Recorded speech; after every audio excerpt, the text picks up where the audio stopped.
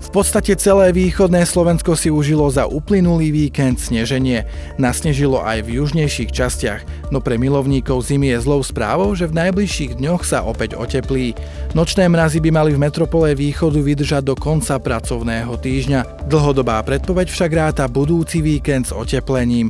Počas dňa by sa počas mikulášskeho víkendu mala ortu teplomera vyšplhať až k 10 stupňom Celzia. So snehom sa tak na najbližšie dni musíme rozlúčiť.